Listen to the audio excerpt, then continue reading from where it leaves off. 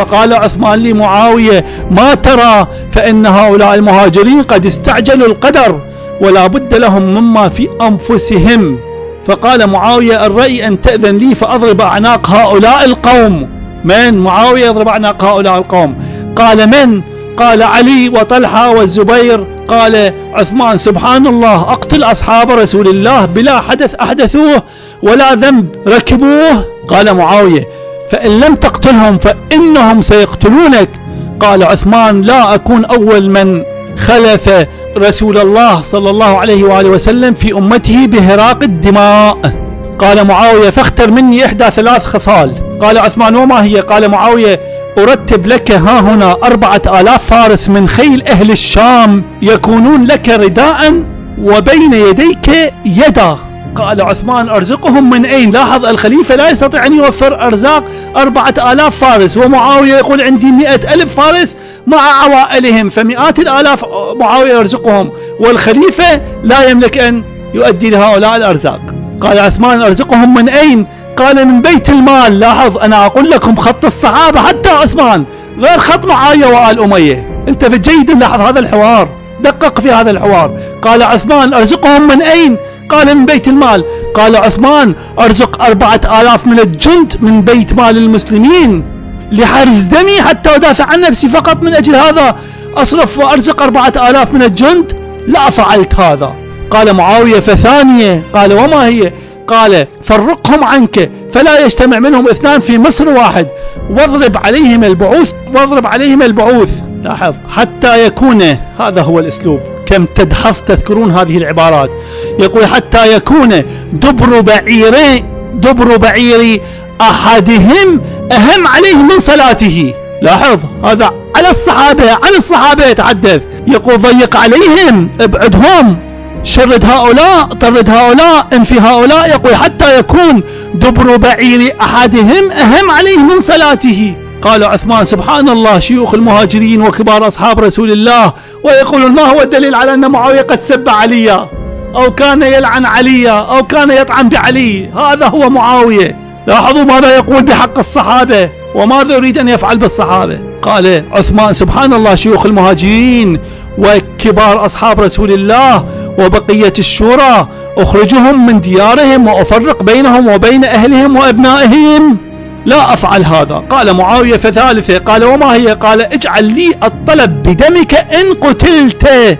لاحظ التفت جيدا. وضع هذا المسمار في نعش اغتيال الخليفة الثالث. قال اجعل لي الطلب بدمك إن قتلت. قال عثمان نعم هذه لك. أخذها معاوية إذا صار هو الطالب بدم عثمان وانتهى الأمر. قال عثمان نعم هذه لك. وفي الطبري الجزء الخامس يقول الخصلة ثانية الخصلة الثانية يقول أن ينطلق عثمان معه إلى الشام فرفض عثمان أن يترك جوار رسول الله صلى الله عليه وآله وسلم.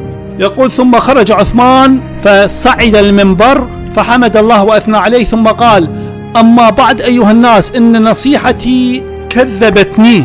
قال ثم خرج عثمان فصعد المنبر فحمد الله وأثنى عليه ثم قال أما بعد أيها الناس إن نصيحتي كذبتني ونفسي منتني وقد سمعت رسول الله صلى الله عليه وآله وسلم يقول لا تتمادوا في الباطل فإن الباطل يزداد من الله بعدا من أساء فليتب ومن أخطأ فليتب. التفت هذا ونهج الصحابة يقول وأنا أول من اتعظ. والله لئن ردني الحق عبدا لاحظ هذا الكلام. ومعاوية أين ومروان أين وآل أمية وآل مروان أين يقول ومن أخطأ فليتب. وأنا أول من اتعظ. والله لئن ردني الحق عبدا لأنتسبن نسب العبيد. ولأكونن كالمرقوق الذي إن ملك إن ملك صبر. وإن أعتق شكر ثم نزل فدخل على زوجته نائلة فدخل على زوجته نائلة ودخل معه مروان بن الحكم. فقال مروان يا أمير المؤمنين والله لو قلت الذي قلته وأنت في عز ومنعا لتابعتك ولكنك قلت الذي قلت وقد بلغ السيل الزبا وجاوز الحزام الطبيين فانقض فانقض التوبة ولا تقر بالخطيئة. لاحظ يوجه الكلام لمن لخليفة المسلمين لعمه لولي الأمر. يقول له يا أمير المؤمنين والله لو قلت الذي قلت لو قلت الذي قلت وأنت في عز ومنعى لتابعتك لكن لا أتابعك لماذا يقول؟ ولكنك قلت الذي قلت وقد بلغ السيل الزبا وجاوز الحزام الطبيين فانقض التوبة ولا تقر بالخطيئة. لاحظ كيف أن لمعاوية ولمروان السبب في تأزم الأمور في تصاعد الأمور في خروج الناس على الخليفة الثالث. لماذا؟ يرسمون لمجدهم لسمعتهم لشخوصهم لسلطتهم. هذا الذي حصل. يقول له فانقض التوبة. وقد بلغ السيل الزبا وجاوز الحزام الطبيين فانقض التوبة ولا تقر بالخطيئة ويكمل صاحب الإمامة والسياسة تحت عنوان ما أنكر الناس على عثمان رحمه الله. يقول قال وذكروا أنه اجتمع ناس من أصحاب النبي عليه وعلى آله الصلاة والسلام فكتبوا كتابا ذكروا فيه ما خالف فيه عثمان من سنة رسول الله وسنة صاحبيه وما كان من هبته خمس إفريقية لمروان وفيه حق الله ورسوله ومنهم ذوي القربى واليتامى والمساكين. وما كان من تطاوله في البنيان حتى عدوا سبع دور بناها بالمدينة وبنيان مروان القصور وعمارة الأموال. وبنيان مروان القصور وعمارة الأموال بها من الخمس الواجب لله من الخمس الواجب لله ولرسوله وما كان من إفشائه العمل والولايات في أهله وبني عمه من بني أمية. أحداث وغلمة لا صحب لهم من الرسول صلى الله عليه وآله وسلم ولا تجربة لهم بالأمور. وما كان من الوليد بن عقبة بالكوفة إذ صلى بهم الصبح وهو أمير عليها سكران أربع ركعات. ثم قال لهم إن شئتم أزيدكم صلاة إن شئتم أزيدكم صلاة زدتكم. وأيضا شكوا عن, عن تعطيله إقامة الحد عليه. وما كان من, من الوليد بن عقبة بالكوفة صلى بهم الصبح وهو أمير عليها. قلنا وتعطيله أيضا شكوا تعطيله إقامة الحد على الوليد. وتأخيره ذلك عنه وتركه المهاجرين والأنصار لا يستعملهم على شيء ولا يستشيرهم واستغنى برأيه عن رأيهم. وما كان من الحمى الذي حمى حول المدينة وما كان من إدراره القطائع والأرزاق والأعطيات على أقوام بالمدينة ليست لهم صحبة من النبي عليه الصلاة والسلام وعلى آله الصلاة والسلام. ثم هؤلاء الذي يعطيهم لا يهزون ولا يذبون. وما كان من مجاوزته الخيزران إلى الصوت وأنه أول من ضرب بالسياط ظهور الناس. يقول الخليفة الثالث عثمان شكوا من أنه أول من ضرب بالسياط ظهور الناس وإنما كان ضرب الخليفتين قبله بالدرة والخيزران. قلنا هذا في الإمامة والسياسة. وبنفس المضمون يوجد في الطبري والجزء الخامس وابن الأثير الثالث والعقد الفريد الرابع ومروج الذهب الثاني. كاف حسب فهمي للأحداث وباختصار أقول إن القرائن تشير وتوجه أن الخليفة عمر رضي الله عنه قد وعى المؤامرة الكبرى والتي استحكمت بعد تنفيذ عملية اغتياله وقد استيقن الأطراف الداعمة والمستفيدة التي تقف وراء ما حصل. لكن الاختيارات عنده محدودة بل محدودة جدا. فاضطر إلى شورى الستة عسى أن يكون فيها منفذا لتدارك الأمر والخروج من الفتنة وقطع طريق أهل الغدر والمكر الحي القريشي القرشي أو القريشي الذي حذر الرسول الكريم صلى الله عليه وآله وسلم منه الذي حذر منه الرسول الكريم صلى الله عليه وآله وسلم. فكان يتوقع فكان الخليفة عمر يتوقع سحب البساط من تحت أقدام المتآمرين دون إثارتهم وإثارة مشاكل كبرى. فتوقع أن نتيجة الشورى إن لم تكن لعلي عليه السلام فإنها على الأقل سوف لا تكون للخط الأموي الذي جعل عثمان في الواجهة وتنفيذ المخطط تحت عنوانه.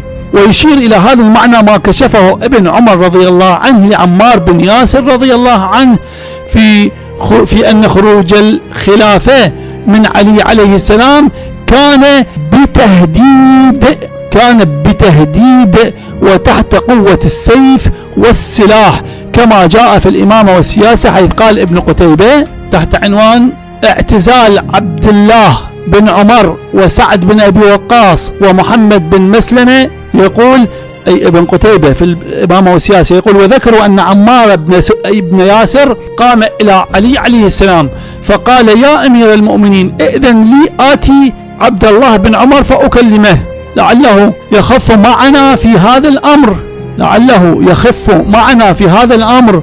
فقال علي عليه السلام نعم. فأتاه فقال له يا أبا عبد الرحمن إنه قد بايع عليا المهاجرون والأنصار عليهم السلام رضي الله عنهم.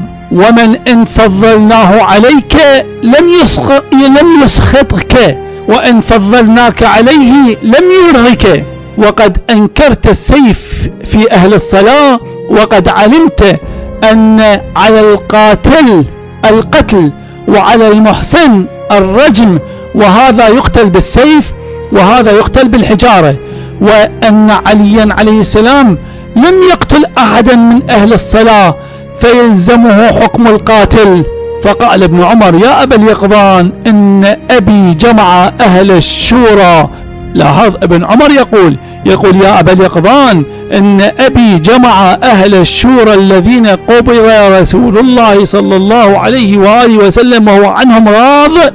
فكان أحقهم بها علي عليه السلام غير أنه جاء أمر فيه السيف غير أنه جاء أمر فيه السيف ولا أعرفه أو لا أعرفه ولكن والله ما أحب ولكن والله ما أحب أن لي الدنيا وما عليها وأني أظهرت أو أو أضمرت عداوة لعلي عليه السلام وأني أظهرت أو أضمرت عداوة علي عليه السلام. انتهى المقتبس من الإمامة والسياسة. أقول وأما كون الخليفة عثمان وأما كون الخليفة عثمان قد دفع به الخط الأموي إلى الواجهة وقد تخلى عنه بعد أن ورطه وأوصل الأمور بينه وبين الصحابة والمسلمين إلى أقصى تأزم حتى تم اغتياله رضي الله عنه وكانت استجارته وكانت استجارته وأهل بيته واستجارة أهل بيته وكانت استجارته وأهل بيته واستغاثتهم بعلي عليه السلام. وليس بالحي الأموي ولا بمن خرج زاعما الأخذ بثأره. ففي الجليس الصالح الكافي الجليس الصالح الكافي والأنيس الناصح الشافي هذا عنوان كتاب. الجليس في الجليس الصالح الكافي والأنيس الناصح الشافي لأبي الفرج. المعافي النهرواني قال المجلس الحادي والستون قد بلغ السيل الزبا هذا هو العنوان. يقول محمد بن الحسن قال لما كثر الطعن على عثمان تنحى علي عليه السلام إلى ماله بينبع فكتب إليه عثمان أما بعد فقد بلغ السيل الزبا وجاوز الحزام الطبيين وبلغ الأمر فوق قدره وطمع في من لا يدفع عن نفسه فإن كنت مأكولا فكن خير آكلي وإلا فأدركني ولما أمزق. فإن كنت مأكولا فكن خير آكلي وإلا فأدركني وإلا فأدركني يا علي وإلا فأدركني ولما أمزق. هذا أيضا ورد هذا المعنى في سير أعلام النبلاء للذهبي. وفي سير أعلام النبلاء قال الذهبي قال محمد بن جبير لما حصر عثمان أرسل إلى علي عليه السلام إن ابن عمك مقتول وإنك مسلوب وعن أبان بن عثمان قال لا زال كلام في السيرة على النبلاء وعن أبان بن عثمان قال أبان بن عثمان قال لما ألحوا على عثمان بالرمي خرجت حتى أتيت علي عليه السلام فقلت يا عم أهلكتنا الحجارة فقام عليه السلام معي فلم يزل يرمي حتى فتر منكبه. ثم قال يا ابن أخي اجمع حشمك ثم يكون هذا شأنك. هذا في سير أعلام النبلاء الذهبي تحت عنوان سيرة الخلفاء الراشدين. لام العنصر الأهم والمحور الأخطر في جريمة اختيار الخليفة الفاروق والذي يرجع إليه ما ذكرناه من محتملات سابقة وغيرها قد كشف عن نفسه في موسم الحج الأخير الذي حضره عمر قبيل اغتياله والذي تضمن الحديث بكل صراحة ووضوح عن موت الخليفة وعن تعيين وتشخيص البديل الذي رفضه عمر بشدة إلى المستوى الذي اضطر فيه أن يذكره بخطورة ما حصل في السقيفة وطريقة اختيار أبي بكر للخلافة وأشار إلى احتمال قرب موته وحذره رضي الله عنه وحرم من الكذب عليه كما ألزم الحاضرين وأكد عليهم نقل كلامه إلى باقي البلدان وإشاعته بين المسلمين. طبعا لمن يعقل لمن يفهم لمن يدرك للمنصفين للعقلاء للمؤمنين.